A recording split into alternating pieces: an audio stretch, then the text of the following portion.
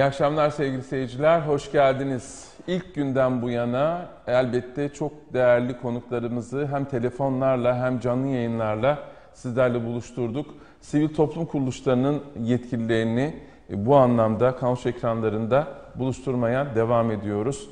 Ee, deprem uzmanları hocamız hocamızı e, ve e, diğer mesleki odalar anlamında e, pek çok teknik anlamda bilgi verecek konuklarımızı açık oturum bağlamında sizlerle buluşturduk. Elimizden geldiği kadar birinci görevimiz olan bilgilendirme görevimizi, uyarı görevimizi, eleştiri görevimizi yapmaya gayret ediyoruz. Biraz önce Baro Başkanımız Sayın Gazi Özdemir konuğumuzdu ve şimdilerde de yine bir e, iş alemini temsilen e, ve gerçekten e, Mersin'imizle ilgili çok çalışmalara imza atan, basın toplantıları düzenleyen bir değerli iş insanını, bir iş insanı olarak camianın temsilcisini sizlerle buluşturacağız.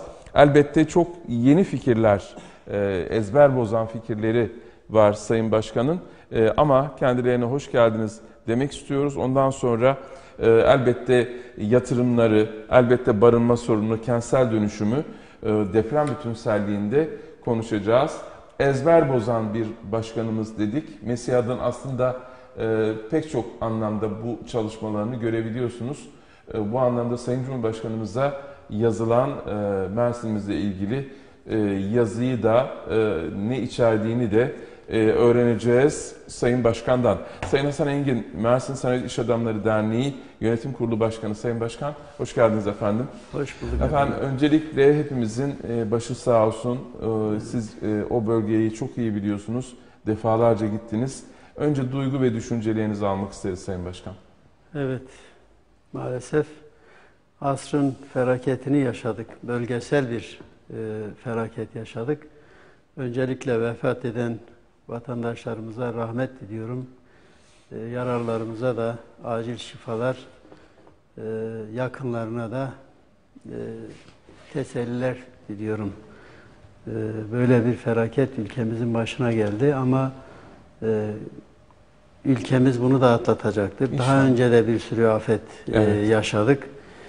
Tarihte de yaşadık. Şimdi de Cumhuriyet tarihinde de birkaç tane yaşadık. Şimdi de yaşadık yaralar sarılacaktır. Türk halkı, Türkiye halkı yaralara merhem olmaya devam edecektir. Evet efendim zaten tek yürek olduk. Ee, bunu hep konuşuyoruz, konuşmaya devam edeceğiz. Ee, sizlerin de katkıları çok büyük. Örneğin baromuzun 9 tır e, destek olduğunu ilk günden bu yana e, destek e, yardımı yaptığını, İHŞ yardımı yaptığını ve sizlerin bu anlamda çok önemli katkılarda bulunduğunu biliyoruz. Evet. 20 Şubat e, Sayın Cumhurbaşkanımıza bir yazı yazıldı Mesiyat tarafından. Bunun içeriği nedir? Ne talep ediyoruz? Ki biraz sonra ana başlıklarla konuları konuşacağız ama depremle ilgili Sayın Cumhurbaşkanımıza Mersin ölçeğinde ne iletildi Sayın Başkan?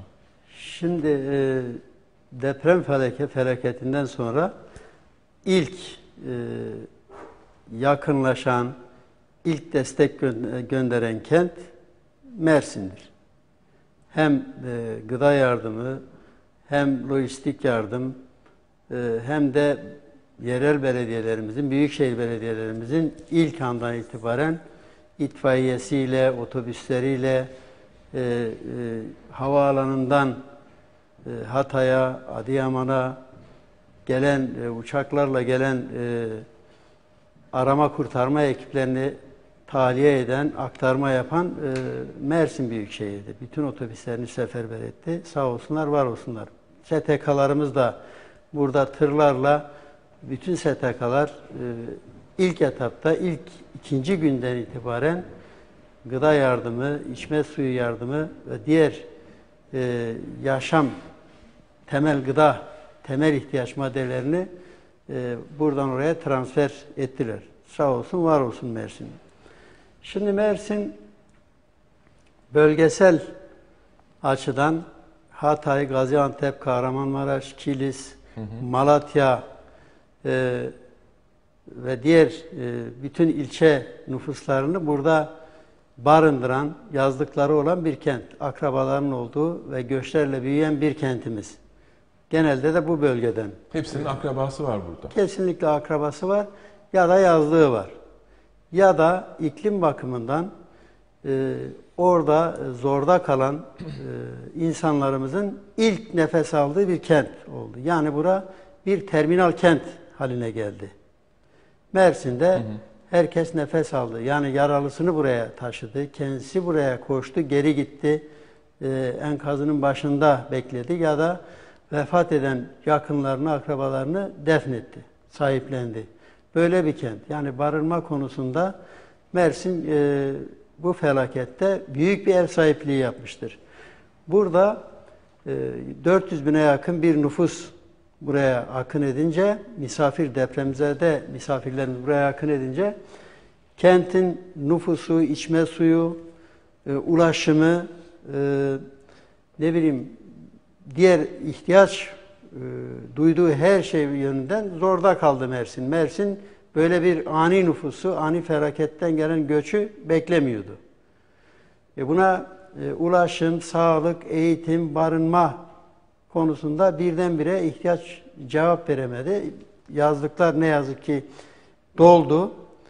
Kentin e, belediyelerimizin, yerel yönetimlerimizin, e, valimizin de desteğiyle yurtlar, e, oteller, e, kongre merkezleri, fuar alanları hep tahsis edildi.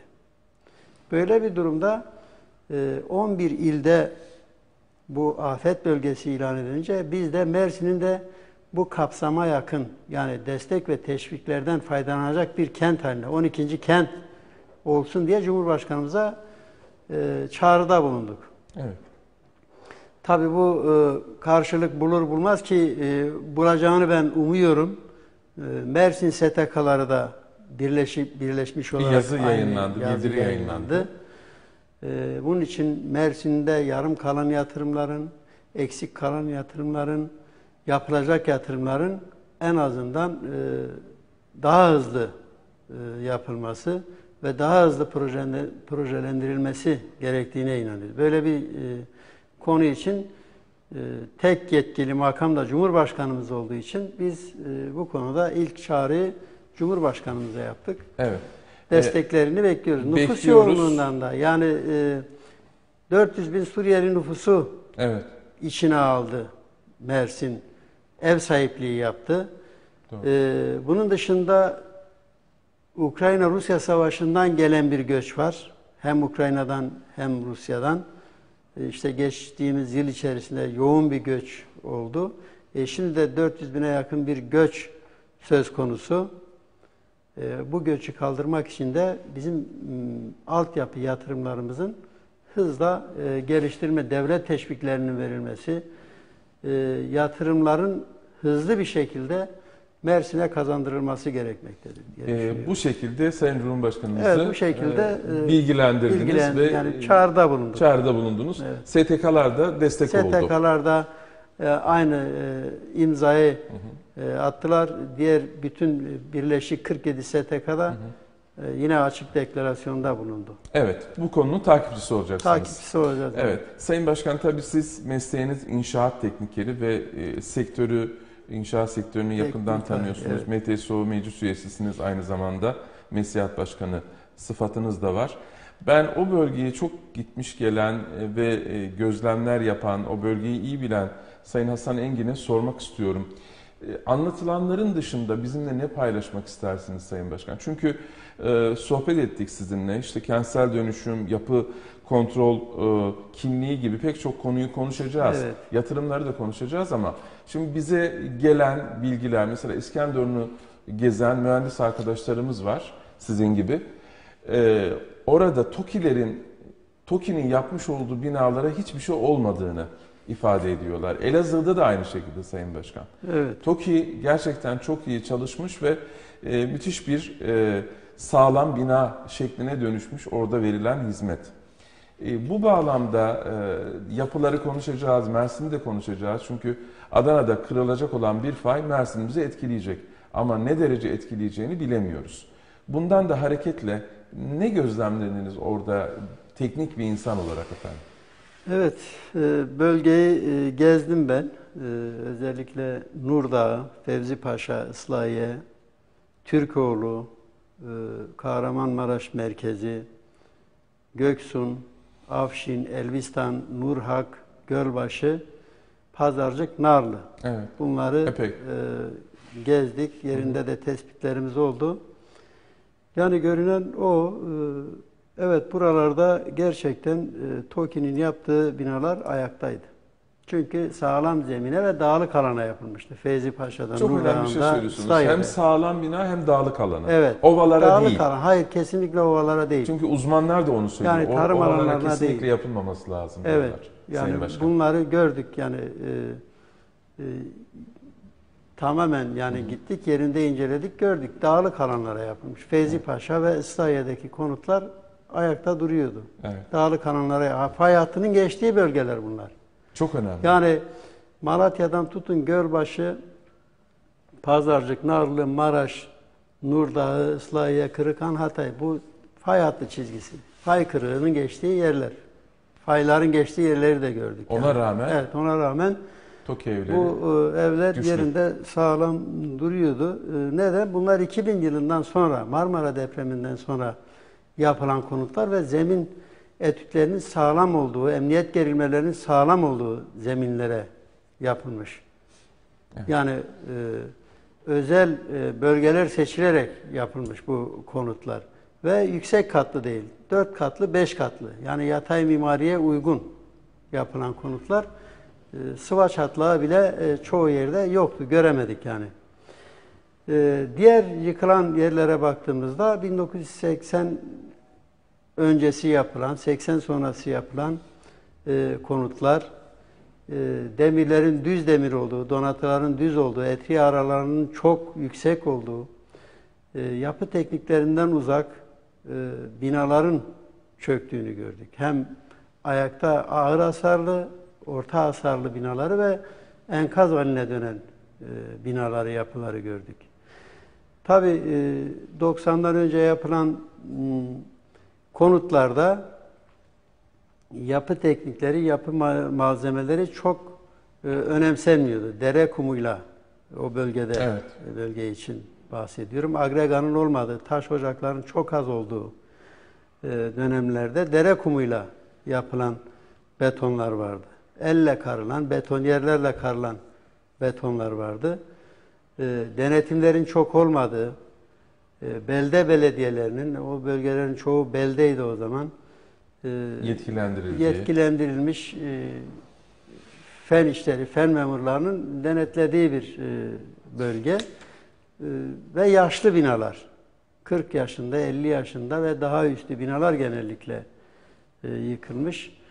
Tabii bu e, 2000'den sonra Marmara depreminden sonra yapılan yüksek katlı binalar da genellikle e, sıvılaşmış zeminlerde e, temel derinliği olmayan, e, radye temelleri çok zayıf olan e, binaların yıkıldığını gördük. E, tarım alanlarında ve zemin sıvılaşmasından dolayı özellikle Hatay'da, Asi Nehri sağında solunda ve göl başında bunu gördük. Adıyaman. Adıyaman göl başında çünkü orada bir göl bölgesi var. Göl seviyesiyle zemin seviyesi hemen hemen e, sıfır bir bölge. Orada da e, radye temelle kolonlara, kirişlere bir şey olmamış yatan binaları gördük. Zemin sıvılaşmasından dolayı. Temel derinliği yok. İşte su çıkıyor diye hemen zemini orada durduruyor. Hı hı. Yani zemin etütünün, etütlerinin iyi yapılmadığı, zemin emniyet gerilmelerine göre evet binalar yapılmış. Radye temel kalınlığı 1.50, 1.60 ama e, temel kazısı yok. Kazı yapılmadan, bodrum yapılmadan yapıldığı için bina e, kolona, kirişe, camları dahi kırılmamış binalar. Yan yatmış, öyle de duruyor. Deprem yönetmeliğine uy- uygun olmayan. Kesinlikle zemin, zemin sıvılaşmasından o bölgelerde. Diğer bölgelerde tabii Maraş'ta e, şeyleri duyduk, kolon kesmelerini duyduk. Özellikle Evet. fırın, lokanta olan, e, oto yıkama olan Yer genişlesin yerlerde. diye yapıyorlar değil mi bunu e, Sayın evet, Başkan? yer genişlesin ya da e, yaptıkları imalata engel oluyor diye. Ya bir Alan kolon keselim, alan genişletmesi için e, bunlar Evet. Bunlar Ee, tabii e, üzücü şeyler. Yani şeyler, evet. keşke bunlar olmasaydı o bölgeyi çok iyi bilen bir kişi olarak bunları söylediniz. Evet. Sayın Başkan şimdi tabii Sayın Sağlık Bakanı da çok açıklama yapıyor. E, Yetkililer de yapıyor ama bir de şunu sormak istiyorum. Çünkü bunlar gerçekten önemli konular. E, 400 bine yakın e, canımız, e, hemşerimiz buraya geliyor. Elbette onları da konuşacağız o bölgeden. Çünkü hepsinin hısmı var, akrabası var. İlk günden bu yana ben söylüyorum ama bir de sal- salgın, tatanos ve içme suyu gibi sorunlar var. Sayın Büyükşehir Belediye Başkanı bunları sürekli gündeme getiriyor. Ee, Daha doğrusu içme suyunu e, ve özel bir şekle bürünmesi lazım Mersin'e destek. Onu da konuşuruz ama bu konularda salgın, tatanos ve içme suyu konusunda ne düşünürsünüz? Berden dahil. Yani evet şu anda e, temiz içme suyuna bu insanların hiç e, kesintisiz ulaşması gerekir diye düşünüyorum. Çünkü hem temizlik hem içme suyu Hı hı. konusunda bu suya ihtiyacımız var. E, bildiğimiz gibi ülkemiz e, kuraklıkla boğuşuyor şu Evet, evet. Barajlarımız %20'ye, %15'e, %50'ye kadar indi birçok barajımız. Ama Mersin'de bunun ana kaynağı e, dediğimiz e, barajlarımız var. Pamukluk Barajı var. Evet. %100 doluluk oranında. Fakat e, bu sudan faydalanamıyoruz içme suyu olarak. Projede, proje kapsamında içme suyu ve sulama suyu var. E, ne yazık ki bu yatırımlar biraz geciktirildi. Biz içme suyunun e, hemen çok acil ve elzem olarak e, ishale hattının ve arıtmasıyla beraber tamamlanıp Mersin'in içme e, Mersin halkının hizmetine sunulmasını Pamuklu'da istiyoruz. çok dediğiniz gibi izale izale hattı. İshale kaldı, hattı ishale hattı kaldı. evet. O bir an önce bitebilir aslında bunu yapması lazım değil mi? Yani Ee, işte ihalesi yapılmayınca sulama suyunun ihalesi yapılmış daha başlanmamış. Yani Mersin'in aslında bir şanssızlığı var. Hı hı. Yani bu yatırımlar konusunda. Buyurun. Mersin e, Türkiye'nin bir prototipi. E, nüfus yoğunluğu bakımından, demografik yapından küçük bir Türkiye'dir aslında. Limanı ve her kesimden göç alan bir kent. Yani buraya e, her yerden, her kesimden geliyor. Mersin bağrına basıyor. E, ne yazık ki yatırımlar konusunda Mersin bunu e, yapamıyor, yapamadı. Evet. Vergi vermede biz hep beşinciyiz, altıncıyız. Tabii. Ama yatırım konusunda, buraya geri dönüş konusunda 25, 26, 27.yiz. E, İller Bankası katkı paylarının bu nüfus yoğunluğuna göre bu kayıt dışı nüfusun buraya akmasıyla beraber katkı payının da bu kayıt dışı nüfus göz önüne alınarak arttırılması diye düşünüyoruz ki kesinlikle arttırılmalı. Evet. Bundan bu, bu faydalanmalı. konuyu sürekli dillendiriyorsunuz. İş camiası, e, Büyükşehir Belediye'miz ve e, ilgililer e, değerlendiriyor. Tabii onlara geçeceğiz. Çünkü havaalanı ile ilgili yine bilgi aldınız. Aslında bir muammaya dönüştü gerçekten. Üzülüyoruz. E, yatırımlar anlamında da düşüncenizi alacağım. Kentsel dönüşüm anlamında da. Bir de salgını ne gözlemlediniz? E, gerçekten Sayın Bakan Tatanos'un çok önemli olduğunu biliyorsunuz. Hep çiviler, kir, pas e, bunlar hep söz konusu. Salgınla ilgili e, ne düşünüyorsunuz? Bir sıkıntı olabilir mi? E, Yani sağlık tabii anlamında. ki e, çok yaralımız var. Evet. Ee, sağ kalanlar da yani bu demir metallerle uğraştığı için tetanos salgını var. Ayrıca e, hala e, enkaz altında vefat eden vatandaşlarımız da olabilir ki var diyorlar. Hı hı. E, bunların e, cenazelerinin hallerini bilmiyoruz. Evet. E, bölgeden e, haber alamıyoruz bu konuda. Tabii ki salgın olacak. Yani bu e, insanların bazı ihtiyaçları var. Tuvalet sorunu mesela e, İlk günlerde çok yoğundu. çok yoğundu. Hala da bölgede var. E, konteyner kentler, çadır kentler oluşturuldu, mutfaklar oluşturuldu ama bu e, devam ediyor. Salgın tehlikesi olabilir. Yani kış olması itibariyle, havaların soğuk olması itibariyle belki bu e, geciktirildi. Yani olmuyor şu anda da önümüzdeki günlerde olur. Çünkü fosektifler, kanalizasyonlar, Doğru. kent yoğun, kent nüfusu iki katına çıkınca taşımayabilir. taşmalar olabilir. İşte kullanım kullanma suyu, içme suyunun çok fazla olması gerekiyor. Berdan Nehrimizde, Berdan Barajımızda şu an yüzde 15 doluluk oranına düşmüş susuzluktan. Ee, dileriz e, yağışlarımız bol olur, e, karlarımız yağar dağlarımıza. E, bunu doldururuz ama e, şu anda Pamukluk Barajı e, doluluk oranı yüzde yüz seviyesinde. E, bunu il koordinasyon toplantılarında da dile getiriyoruz, Evet. söylüyorlar. E, bunun içme suyunun cazibeli olarak Mersin'e çok hızlı bir şekilde kazandırılması gerekiyor. Biraz önce Pamuklu Barajı'nı Pamukluk söylediniz. Barajı'nın is- Böyle bir potansiyel var elimizde. Zaten proje kapsamında. Proje edilirken de elektrik, sulama suyu, içme suyu kapsamında yapılan bir ihale ve gövdesi suyu tamamen bitmiş, suyu doldurmuş, enerji de verebiliyor şu anda. Sulama suyu e, ihale edilmiş ama içme suyu konusunda adım atılmamış. Bunun da aynı proje kapsamında çok hızlı bir şekilde e, bu göçü e, kucaklayan, içine alan, misafirlere sahip çıkan vatandaşıyla, belediyesiyle, idarecilerimizle e, Ankara'nın da e, Cumhurbaşkanımızın da bu sesi duyup buradaki yarım kalan yatırımları hızlı bir şekilde bitirmesini diliyoruz. Hastanelerimiz var.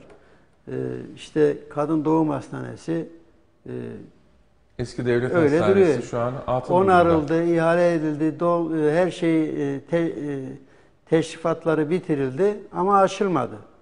Yani e, bütün yük şehir hastanesinde. Devlet hastanemiz var. Belki orada da barınma olarak kullanılabilir. Evet. Tarsus Devlet Hastanesi e, hizmete açılmadı. 600 yataklı. Bitti 600 yataklı hastanemiz. Yani sağlık sorununda bunların da acilen e, halkın hizmetine, Mersin hizmetine sunulması. Çok haklısınız. İvedi olarak aslında hemen yanı başımızda Hastane Caddesi'nde devlet hastanesinin Evet. işler hale gelmesi lazım. Evet. Yani ben bara başkanıyla konuştum. Kendilerine ait lokali bile 25 kişi olarak meslektaşlarını orada yerleştirmişler. Geçici barınma merkezleri Geçici barınma olabilir merkezi. yani. Bu- Evet, belediyemiz yapıyor bunu, sıkıntı yok, Toros evet. Rotary yapıyor, Evet. sizler yapıyorsunuz. Bütün belediyelerimiz yapıyor. bu yapıyor, konuda. ilçe Açtı belediyelerimiz yapıyor. Evet, Vatandaş Akdeniz, da açtı, Akdeniz, misafir etti. evet, Ee, vatandaş da evini evet. açtı. Devletimiz de bir şeyler yapmaya çalışıyor ama burada duran Duran e, binaları var. değerlendirmek binalarımız var. lazım. Değerlendirmemiz lazım bunları. Evet Sayın Başkan şimdi tabii yatırımlar çok önemli. Aslında Mersin'in makus talihi diyoruz hep. Bunun olmamasını da istiyoruz ama maalesef beklenmedik gelişmeler oldu yine. İşte pandemiden sonra şimdi bir de e, depremi ne yazık ki hem can hem de gelecek anlamında sıkıntı yaşıyoruz. Şimdi Mersin'imizde gözle görülür bir araç trafiğinde artış var Sayın Başkan. Evet. İnsanlarımız, e, örneğin ben Hasan Caddesi'nde yürümekte artık zorlanıyorum. Çünkü gerçekten çok yoğunlaştı e, nüfus.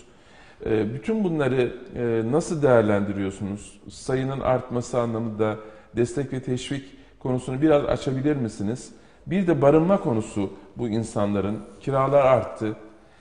Kentsel dönüşümü, depremi de düşünerek nereye koyarsınız? Yani ulaşım konusuna değinirsek Mersin e, bu ulaşım konusunda e, sıkıntılı. Öncelikle Çeşmeli Taşucu otoyolu ihale edildi. Yer teslimi yapıldı. Acil kamulaştırması yapıldı. Fakat müteahhit firma, yapımcı firma başlayamadı.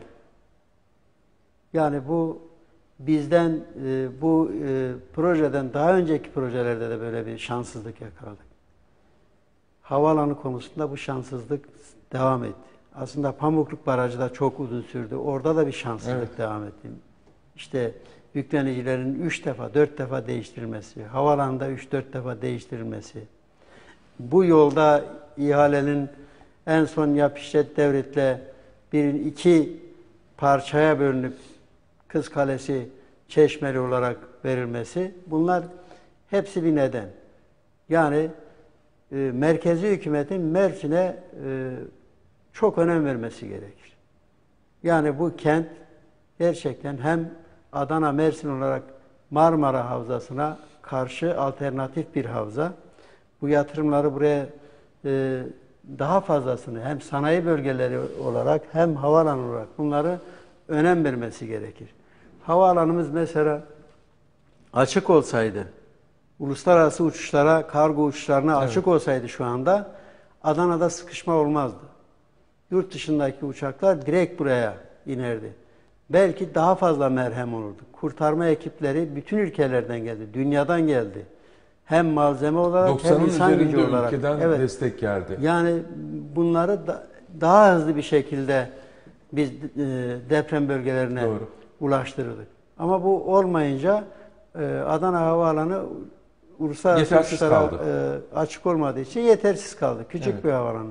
Aynı zamanda Hatay Havaalanı'nda e, zarar görmesinden ötürü e, çok sıkıştı. Biz bunun için mücadele Mesela Tarsus kıyı kesimi e, turizm projesi bitmiş olsaydı 20 yıldır devam eden, tahsisleri biten, yolları biten bir proje, elektriği, telekomünikasyonu biten bir proje, yatırımlar olsaydı 8 bin yataklı bir yerdi. Şu anda 8 bin yataklı e, otellerimiz depremzedeleri misafir ederdi. Hiçbir sorun olmadan. 4 kişi kalsa her bir Tabii. dairede 32 bin. Kesinlikle bir anda Evet. buradaki otellerimiz e, yetersiz.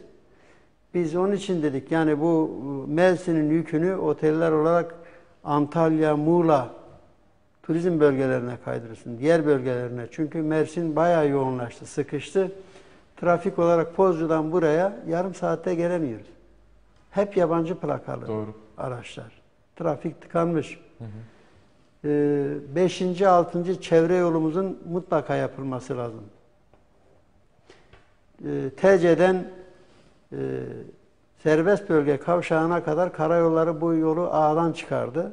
Fakat buna alternatif olarak bir çevre yolu yapılmadı. Adana'da yapıldı. Güney çevre yolu çalışmaları devam ediyor. Fakat burada o şansımız da yok. Otoyolumuz var. O da yetersiz kalıyor. Böyle bir durumdayız. Hele e, Çeşmeli'den sonra trafik tamamen tıkalı. Gidip gelen arkadaşlar var orada e, yaşayanlar. Aynı e, Ağustos ayı gibi, turizm mevsimi gibi şu anda tıkalı. Böyle bir durumda. Ulaşım da e, kentte bir sorun. Bunun için metronun raylı sistemlerin mutlaka bu kente Hep kazandırılması söyleniyor evet. hep e, sistem, gerekir. metro. alternatif raylı sistemlerin Tarsus'a, TC'ye, Erdemli'ye bunların kazandırılması devlet marifetiyle, devlet desteğiyle kazandırılması lazım. Metromuz e, bir yıldır imzada bekliyor bakanlıkta. Yani bu imzaların atılması lazım. Kredilerin bulunup başlanması gerekir. E, Mersin'e de bir metro yakışır. Metropol kentimize bir metro yakışır diye düşünüyorum. Sayın Başkan bir de gücüne güç katmak için Mersin'imizin böyle bir ihtiyacı da var artık. Ee, İller Bankası boyutunda olsun, destek ve teşvik boyutunda hatta şurada dillendiriyorlar. Kalkınmada öncelikli bölge anlamında da bu da dillendiriliyor. Bu anlamda ne söylemek istersiniz? Yani evet kalkınmada öncelikli dediğimiz zaten deşvek, destek ve teşviklerin Artırılması. teşviklerden e, faydalanması, arttırılması. İşte en yüksek e, teşvik desteği 6. yıldır, 6. yıllara veriliyor. Biz de 5. veya 6. yıl olması bu desteklerden faydalanması gerekir. Bu e, krediler yönünde olur, yatırımlar yönünde olur, destekler konusunda olur, nüfus yoğunluğu konusunda bu artışlardan e, beklenti içerisindeyiz. Sanayi yatırımları olur.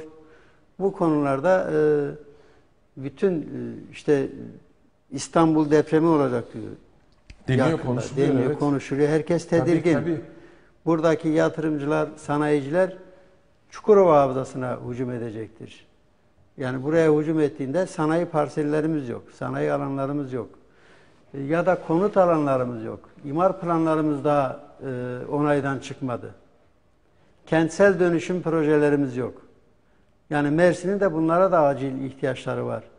Kentsel dönüşüm projeleri devletten işbirliği yaparak e, yerel yöneticilerimizle beraber e, işte Akdeniz Belediyesi yaptı kısmen ama bunun daha büyük oranda mahalle bazında, semt bazında e, tamamen bir yasayla yapılmasını istiyoruz. Yani bu gönüllülükle olmuyor. Kimse evinden çıkmak istemiyor.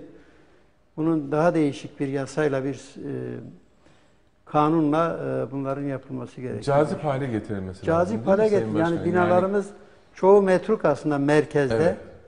Oturulamaz durumda. Yani kanalizasyona bile bağlı değil birçok evimiz, bazı mahallelerimiz.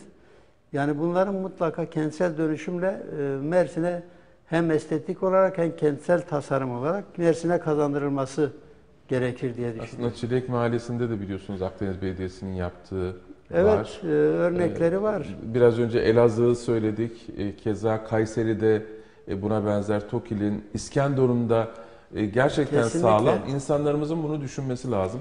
Sayın. Başkan sohbet ederken imar planı yapı kontrol e, ile ilgili bir kimlikten bahsettiniz. E, Mersin ölçeğinde bunu nasıl e, kamuoyuyla paylaşırsınız, mesaj verirsiniz? Çünkü ben deprem uzmanlarını konuk alıyorum. Deniliyor ki tabii belli bir süre verilemiyor. Şu tarih denilemiyor sizin dediğiniz gibi. Bu bir gün sonra da olabilir, yüz yıl sonra da olabilir. Kesinlikle. Ee, insanlarımızı tedirgin et, etmeyelim ama böyle bir dönüşüme de ihtiyaç var. Adana'da böyle bir fayın kırılacağı ifade ediliyor. Dolayısıyla evvel emirde işte üniversitelerimiz var, teknik insanlar var, e, sizler varsınız.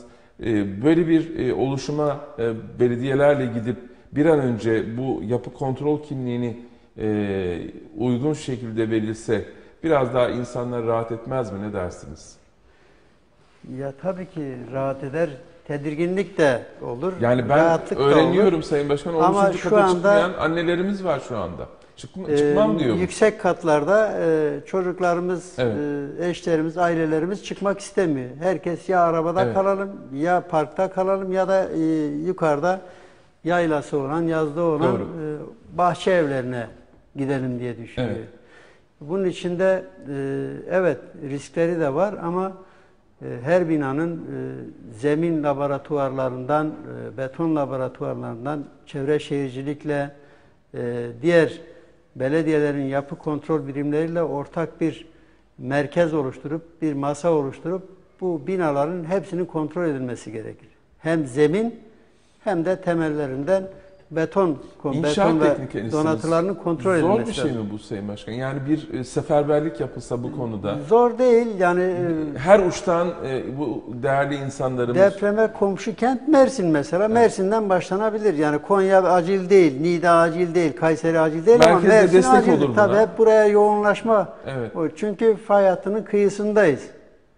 Yani bunun için Mersin e, örnek şey kent alınabilir. Yani pilot kent yapılıp da bunlar bu çalışmalar Biraz önce yapılabilir. destek ve teşvik dediniz Sayın Başkan. Evet. En azından böyle başlayabilir Tabii, değil mi? Bu da bir da mal, her can- konuda. canın yongasıdır derler. Evet. Sonuçta bunu da çözerse devletimiz daha Kesinlikle. farklı olur. Ne Evet. dersiniz? İmar planları, imar bölgeleri yeniden yapılandırmalıdır. Kesinlikle sahillerde yüksek katlara müsaade edilmemelidir. Özellikle e, zemin sıvılaşması olan bölgelere imar yasağı getirilmelidir. Çok dere bir şey dere yataklarına ve de- dere yataklarına kıyı kenar çizgisi uygulanmalıdır.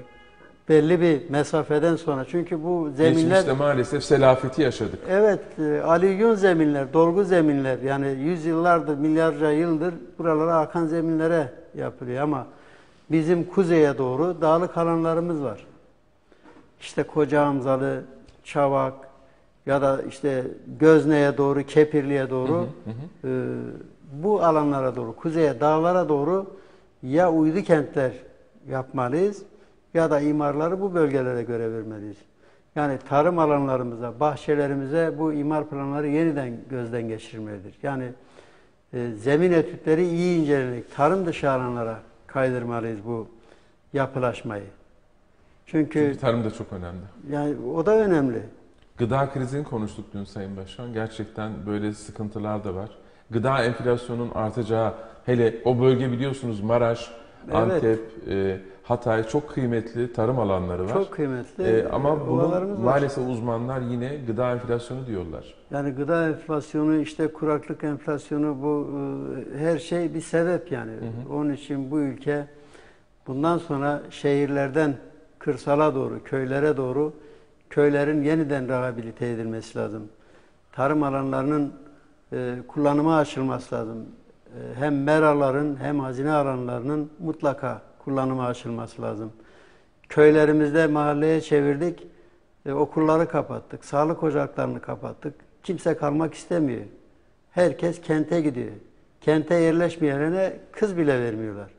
Köyde kalıyor. Köylüdür diye, mahallelidir diye e, böyle bir durum var. Ama artık Onun için herhalde- cazibe merkezi yapmamız lazım. Yani e, Tarım İl Müdürlükleri olsun, Sağlık Müdürlüğü olsun, Milli Eğitim Müdürlükleri, bakanlıkları buralara e, tekrar 1960-70'lerdeki gibi e, okullarıyla, e, eğitimle, sağlıkla, yaşam merkezleriyle, kredi kooperatifleriyle yeniden bunları e, Cazibe merkezi, Cazibe merkezi yapmamız lazım. Deprem bunu yani çok kötü bir örnek haklısınız ama bunu e, biraz da olsa teşvik eder mi? Çünkü üretim gücü düştü. E, Orada istihdam ortamlarının sağlanması lazım. İş gücü kaybı var. E, İnsanların gidip orada çalışması da gerekiyor. Tarım anlamında söylüyorum. Ne dersiniz? Yani şu anda Mersin'de gayrimenkul fiyatlarına bakıyoruz. Özellikle arsa fiyatlarına bakıyoruz. 3-5 katına çıktı. Birden son 20 günde herkes gelmiş. Mesela dışarıdan gelen misafirlerimiz hep kuzeye doğru bir bahçemiz olsun, bir ağaç kenarında çadırımızı kurar otururuz diye arsa alıyor. Buraya yerleşmek istiyor yani artık e, iklim yönünden, yaşam yönünden rahat bir il olduğu için e, buralarda şu anda arsa bulmak zor. Yani konut zaten e, şu anda yüzde yüz Barınma sorunumuz var. Kesinlikle o sorun var. E, Satılık yer de yok, kiralık yer de yok şu anda. Böyle bir durumla karşı karşıyayız. O yüzden e, imar planlarının yine dağlık kesimlere e, doğru e, yeniden gözden geçirilmesini istiyoruz. Burada bahçelere değil, deniz yakınına değil, sıvılaşmış zeminlere değil, yeniden gözden geçirilmesini, kentsel dönüşümün de mutlaka yapılmasını istiyoruz Mersin'de. Çok önemli. Sayın Başkan tabii duyarlı olduğunuz yatırımlar var.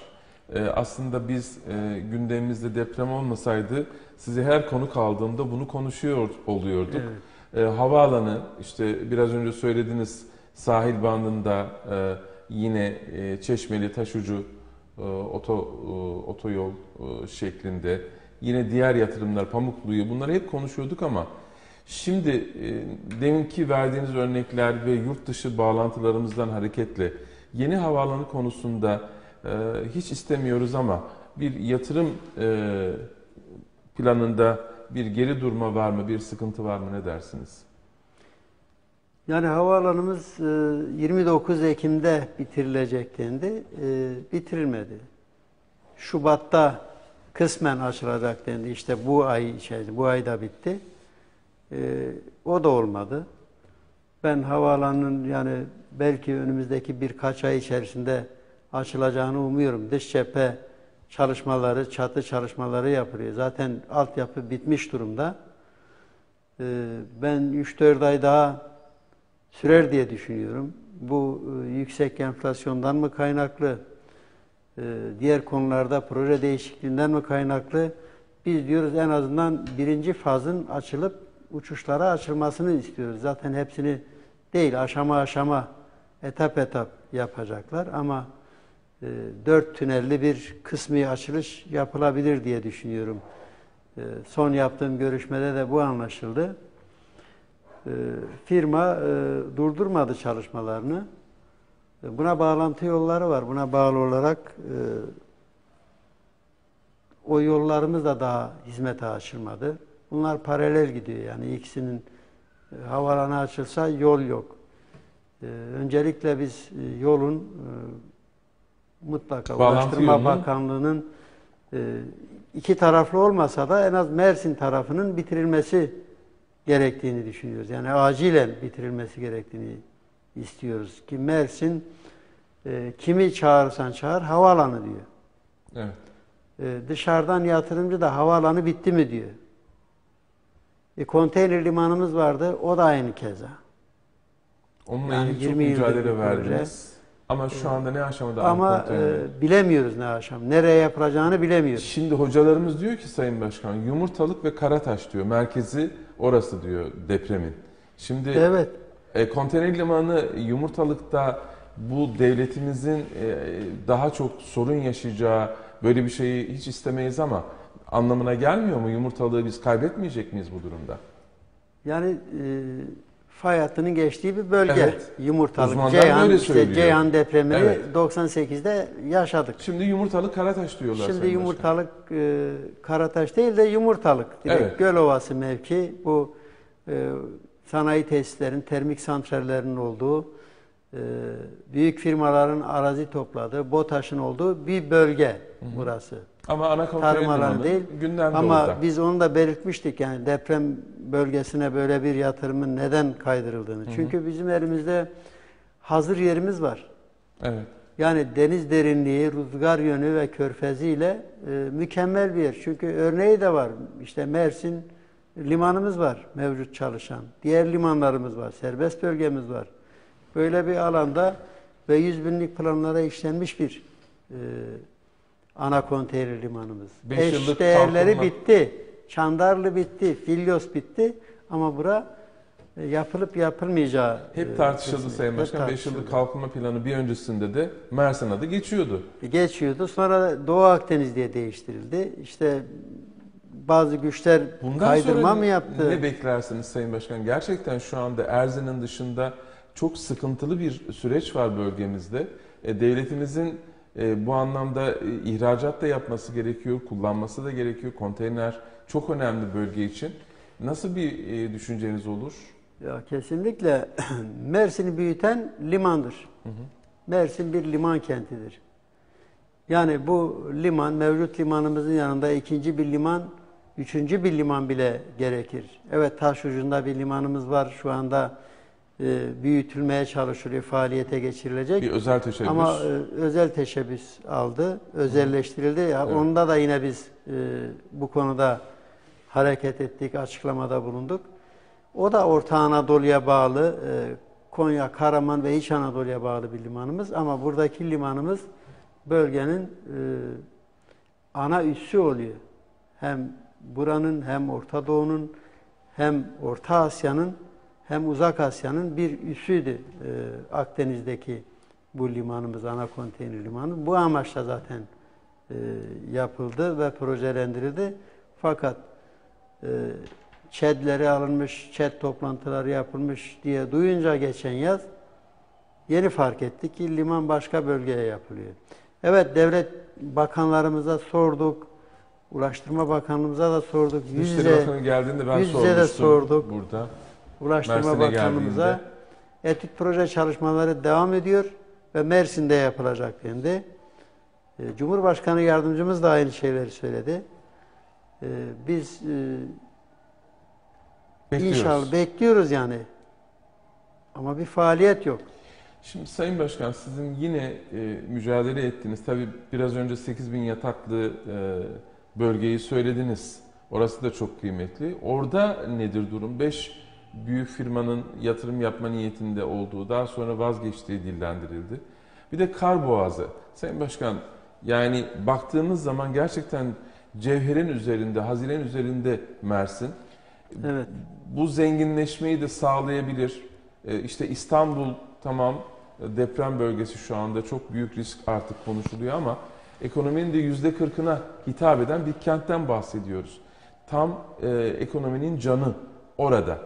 Evet. E, ama e, bu bölgede de bu canlanma, zenginleşme sağlanabilir.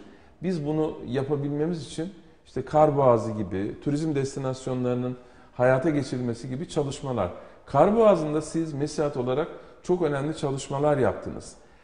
Ee, nasıl olacak? Yani o 8 bin yataklı otel dahil olmak üzere e, neleri paylaşmak istersiniz kamuoyuyla? Bizim e, Tarsus Kıyı Kesimi projesi biz e, Mersin basınıyla, Mersin medyasıyla da gittik. Yerinde Evet. incelemelerde bulunduk. Birkaç kez. Yerlerinde atılan temelleri de gördük. E, golf sahalarını gösterdik. Dünya harikası bir alan bura. Yani 2500 hektarlık bir alan. 12 kilometrelik bir bakir sahili var. Yapılan yol otoban kalitesinde. Çekilen hatlar, enerji hatları, telekomünikasyon hatları hiçbir bölgede yok. ve 6. bölge teşvikleri verildi bu yatırımcılara. 6. bölge teşvikleri. Ha buna rağmen gelmediler tahsis sahipleri. Bu 5 firma, 6 firma gelip başlamadı. Biz de dedik ki ya bu tahsisler ya iptal edilsin, başkalarına verilsin, yerel güçlere, yerel yatırımcılara verilsin. Onu istedik. Evet. Çünkü böyle bir alanı herkes ıı, burada yatırım yapmak ister. Ama burada kent dinamiklerinin de zayıf tarafı var. Tarsus kıyı kesimi, turizm bölgesine alternatif diğer bölgeler öner. Yani kentte bu tarihsizlikler de var. Evet bizim turizm bölgelerimiz var. Boğsak var, Kargıcık var, Tabii. Aydıncık var, e, Melleş var, e, Akyar var, Karboğazı var. Turizm bölgeleri diye ilan edilmiş yerlerimiz var. Evet bunlarda da yatırım yapılsın. Ama bir bölgeye de karşı çıkılmasın istiyoruz. Yani bir bölgede bir dere, bir tarım e, alanı varsa, yanında arıtmayla çözülecek bazı sorunlar varsa bu bölgede şunlar yapılmaz diye denmemesi diye düşünüyorum. Bura bir rehabilitasyon merkezi, golf merkezi, spor merkezi, kongre merkezlerinin yapıldığı ve havaalanına 5 kilometre kuş bakışı bir alan. Fıstık ormanlarının ve çam ormanlarının olduğu tertemiz bir bölge. Hiçbir sanayi yatırımının yakın olmadığı bir bölge. Karboğazı da aynı. Hem yayla turizmi, hem kongre turizmi, hem kış kayak sporları turizmi diye bir bölgemiz. Biz daha bu bölgenin 100 binlik planlara işlenmiş bir bölge. e, 25 binlik, 5 binlik planları bitmiş. Binlik planları var. Tahsis edilecek. Büyükşehir Belediye'miz e, ben inanıyorum o projeyi bitirecek. Oradaki tahsisleri Turizm Bakanlığı ile ortak bir proje yapıyorlar. Bitirilecek ve Mersin'e ve bölgeye kazan bölgesel bir proje. Evet. Adana Mersin'in sınırında bir proje. Yazın insan kaynıyor orada. Trafikten. Kışın da aynı şekilde kar görmek için. Böyle bir alan ama bu alana karşı da alternatif işte Dümbelek Boğazı var veya başka bir yer var veya Aslanköy kayak tesisleri var. Yani bir proje bitmeden öbür projeye atlanmak kent dinamiklerini işte yöneticilerimizin aklı karıştırılarak bazı sunumlar yapıldı. Ama reddedildi onu da biliyoruz. Karboğazı projemiz Büyükşehir Belediyesi tarafından bitirilir diye düşünüyorum. Büyükşehir Belediye'mizin e, destekleriyle, Turizm Bakanlığı'yla ortak çalışmalarından Ki ben bitirilir diye düşünüyorum. düşünüyorsunuz. Karboğazı çok çok önemli. Çok önemli. Yani insan sağlığı yönünden çok önemli yazın. Ee, çok güzel bir Kışında bölge. bir kayak merkezi değil mi? Kesinlikle. Çok Yani uygun. Fizibilitesini Yanında yaptınız. Elmalı Boğazı var. Evet. İki boğaz ve iki kar bölgesi. Belki bu yıl kurak oldu, kar çok yağmadı ama e, onun yazın oranın havası bile e, yetiyor insanlara. Nefes arıyorlar. Evet. Sayın Başkan çok teşekkürler. Bir 5 dakikamız daha var ama hemen hızlıca toparlarsak. Uzmanların söylediğinden hareketle 6 hafta bu travma yaşanacak ülkemizde ne yazık ki. E, aileler e, sıkıntı yaşadı, aileler e, bireylerini kaybetti, aileler dağıldı ve bizler de toplum olarak çok üzüldük.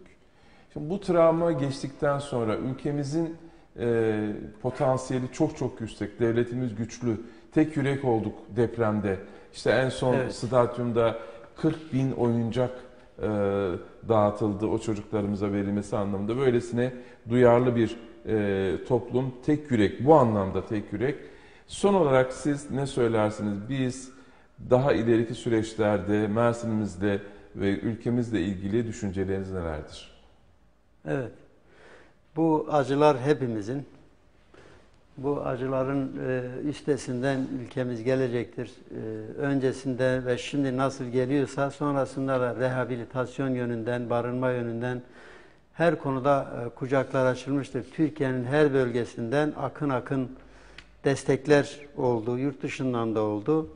Bu devam edecektir. Tabii bu e, e, depremler bize bazı dersler Evet, vermesi Vermesi gerekiyor lazım. diye düşünüyorum. doğru. Bu unutulmamalıdır. Ee, önlemler alınmalıdır. Bu yasalarla bu önlemlerin e, kesinlikle alınması gerekir. Evet bu acılar belki 6 ay bir sene sonra unutulur Ama unutuldu mu bu depremler unutulmaz. Biz fay hattı üzerindeyiz. Türkiye bir deprem e, ülkesi, Ülkesi. deprem bölgesi. Buna karşı önlemleri sıklaştırmalıyız. Konutlarda e, çok yüksek yapıların olmaması gerekir. Sıvılaşmış zeminlerde olmaması gerekir. Tarım tarım dışı alanlara jeolojik etütleri sağlam yapılan alanlara e, dağlık bölgelere konutlar yapılmalıdır diye e, düşünüyoruz. E, bir daha böyle acıların yaşanmaması dileğiyle hmm, İnşallah. Teşekkür ediyorum. Efendim biz teşekkür ediyoruz. Benim konuğum olduğunuz Sayın Hasan Engin, Mersin Sanayi İş Adamları Derneği Yönetim Kurulu Başkanı. Sayın Başkan çok teşekkürler efendim. Görüşmek üzere. Önemli mesajlar verdiniz. Sağ olun efendim. Görüşmek üzere. Sevgili seyirciler, Sayın Mesiyat Başkanı'nı bu dakikalarda ağırladık. Bildiğiniz üzere 2-3 haftadır e, STK başkanlarını, e, teknik e, yöneticilerimizi, ziraat mühendisleri e, odası gibi, inşaat mühendisi odası gibi, gıda mühendisleri odası gibi, şehir plancıları, mimarlar odası gibi pek çok odamızı ve bugün birkaç saat önce de baro başkanımızı sizlerle buluşturduk ve bu dakikalarda da Mesiyat Başkanı'nı sizlerle buluşturduk. Gerçekten önemli bir inşaat e, teknikeri olarak da önemli mesajlar verdi. Umarız bu mesajlar Mersin'imizin geleceği adına ilgili yerlere ulaşır. Yetkililer bunu duyarlar. Çünkü başka Mersin, başka Türkiye gerçekten hamaset değil, gerçekten yok. Dolayısıyla bu canım ülkeyi, bu canım kenti hep birlikte kalkındıralım. Ee, Daha güzel günlere bu yaraları sararak tek yürek olarak erişelim e, istiyoruz. Yeni programlarda görüşmek üzere efendim. Hoşçakalın.